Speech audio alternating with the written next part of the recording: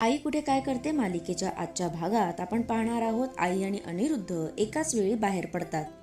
आईला अनिरुद्धचा आवाज येतो.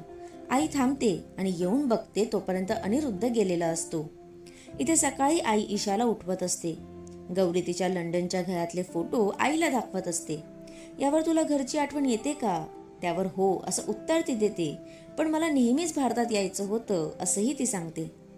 तेवढ्यात गौरीशी बोलण्यासाठी यश सारखा फोन करत असतो. आई आजी आप्पांच्या खोलीत जाते. इथे अनिरुद्ध आणि संजना शॉपिंगला जायला निघतात. तिथेही आई आणि अनिरुद्धची थोडक्यात चुकामुक होते.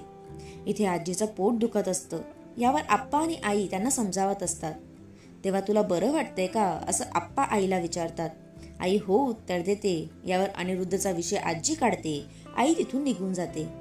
इथे अनिरुद्ध संजनाला पुढे पाठवतो.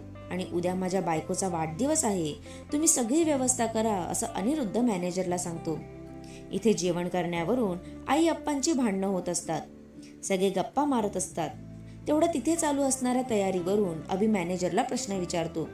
तेव्हा आज रात्री इथे पार्टी आहे तुम्ही सगळेही या असं तो सगळ्यांना सांगतो. सगळे तिथून उठून जातात. आई त्या सजवलेल्या ठिकाणी येते. आणि अजून कशा प्रकारे आपण हे छान करू शकतो असं त्या माणसांना सांगते. मॅनेजर आईचे आभार मानतो. इथे ईशा गौरी आणि अभि फोटोशूट करत असतात.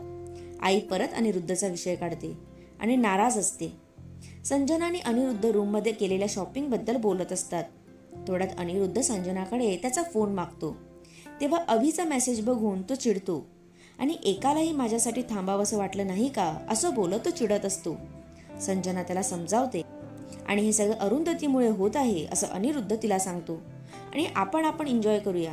त्यांना माझी आठवण येत नाही तर मलाही त्यांना मिस करायचं नाही आहे असं अनिरुद्ध बोलतो. संजना त्याला शांत करते.